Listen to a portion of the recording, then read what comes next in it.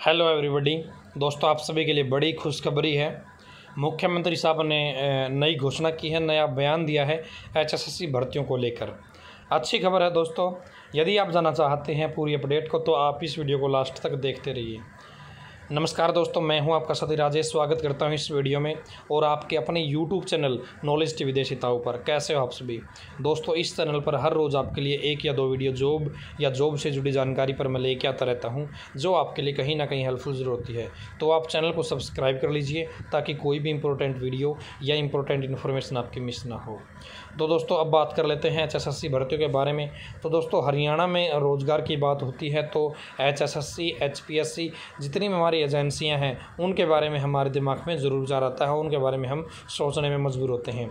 अभी मुख्यमंत्री साहब ने दो दिन पहले एक बयान दिया था, जिसमें बताया गया था कि हरियाणा में अगले एक साल तक नई भर्तियाँ नहीं होगी, नई भर्तियों पर रोक लगा दी गई थी। हालाँकि उसमें ये बताया गया था कि जो पुरानी पेंडिंग भर्तियाँ हैं, उनके प्रोसेस चलेंगे। लेकिन जो नई भर्तियाँ, नई एडवर्टाइजमेंट नहीं जारी की जाएगी, ठीक है, इस विषय पर मुख्यमंत्री साहब ने अपना जो विचार है, वो प्रकट किया। था क्योंकि हरियाणा में जो स्थिति है, वो थोड़ी डाउन हो गई है, पहले भी डाउन हो गई लेकिन अब कोरोना वायरस के कारण और भी डाउन हो चुकी है। इसी चीज़ को ध्यान में रखते हुए एक साल तक नई भर्तियों पर रोक लगाने की घोषणा मुख्यमंत्री साहब ने कही थी या बयान दिया था।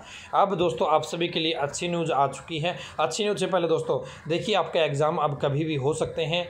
दो महीने में, तीन महीने में, चार महीने में, जब भी आपका एग्ज़ाम हो गए यदि आप अभी प्रैक्टिस करोगे इस समय में, ये आपके लिए जो समय है, बहुत ज़्यादा इंपॉर्टेंट है। यदि आप इस समय में प्रैक्टिस करोगे तो आप अपने एग्ज़ाम में बेस्ट परफॉर्मेंस कर पाओगे। एच के स्पेशल मॉक टेस्ट है, चालीस मॉक टेस्ट है, बावन रुपये में। जी एस के सौ टेस्ट है, नब्बे रुपये में। यदि आप दोनों लेते हो, एक सौ दो में ले सकते हैं। पहले दो सौ स्टूडेंट के लिए ऑफ़र है, और अच्छा है, इतना सस्ता है। ठीक है?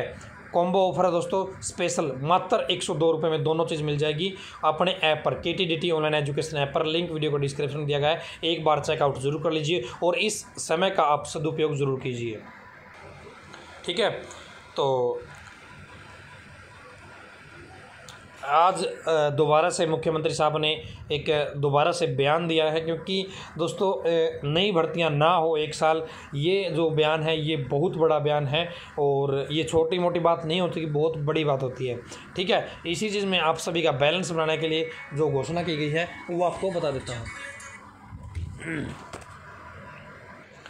तो दोस्तों, यहाँ पे देखिए, आज के न्यूज़पेपर में आप ये चीज़ देख सकते हैं। बारह हज़ार तीन सौ सोलह पदों पर जल्द पूरी करेंगे भर्ती। मनोहर तो हमारे मुख्यमंत्री साहब ने बोला कि बारह हज़ार तीन सौ सोलह पदों पे जो पेंडिंग भर्तियाँ हैं, उनको जल्द से जल्द पूरा किया जाएगा। तो दोस्तों, पूरी न्यूज़ ये आप अच्छे से पढ़ना चाहते हैं तो आपको ये जो न्यूज़पेपर है या ये जो चीज़ है जो आपके स्क्रीन पर है, ये अच्छी तरीके से पढ़नी होगी। तो यहाँ पे मैं आपको एक बार पढ़ लेते हैं दोस्तों। सीएम ने प्रदेश के कर्मचारी संगठनों के साथ की वीडियो कॉन्फ्रेंसिंग। सीएम ने मंगलवार को सर्व कर्मचारी संघ हरियाणा हरियाणा कर्मचारी महासंघ, हरियाणा राज्य कर्मचारी संघ और भारतीय मजदूर संघ के नेताओं के साथ वीडियो कॉन्फ्रेंसिंग की। इसमें उन्होंने कर्मचारी संगठनों की शंकाओं को दूर किया, कर्मचारी नेताओं ने नई भर्ती डीए व एलटीसी बंद करने पर विरोध भी जताया सीएम ने कहा कि कर्मचारियों को 17 प्रतिशत महँगाई भत्ते का लाभ मिलता रहेगा। बारह हज़ार तीन सौ सोलह पदों पर भर्ती का अंतिम परिणाम जल्द निकाला जाएगा। तो दोस्तों, ये आपके लिए अच्छी न्यूज़ है। जो भी जितनी पेंडिंग भर्तियाँ हैं, बारह हज़ार तीन सौ सोलह पदों पर जो अंतिम परिणाम है, वो बहुत जल्द निकाला जाएगा। इनकी पहले ही लिखित परीक्षा आयोजित की जा चुकी है। ठीक है दोस्तों, इसका जो एग्ज़ाम है वो हो चुका है। लॉकडाउन की अवधि पूरी होने के तुरंत बाद परिणाम घोषित कर भर्ती प्रक्रिया संपन्न करेंगे। सरकार ने पाँच वर्षों के कार्यकाल में अड़सठ अड़सठ हज़ार पाँच सौ साठ पद हरियाणा कर्मचारी चयन आयोग और लगभग पाँच हज़ार पद हरियाणा लोक सेवा आयोग के ज़रिए भरे हैं।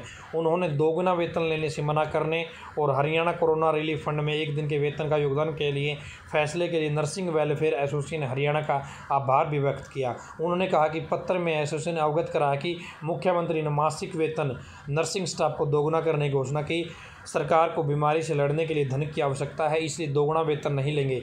मुख्यमंत्री ने संकट की घड़ी में डटे रहने के लिए सभी स्वास्थ्य संगठनों, स्वास्थ्य विभाग के कर्मचारियों, एनएचएम पुलिसकर्मियों स्वच्छता कर्मियों बिजली, पब्लिक हेल्थ और अन्य सभी विभागों का भी आभार व्यक्त किया है। मनोहर लाल ने कहा कि राज्य सरकार को हर महीने छः हज़ार से सात हज़ार करोड़ रुपए की राशि वेतन, सामाजिक सुरक्षा पेंशन और ऋण अदायगी सहित पेंशन के लिए खर्च करनी पड़ती है।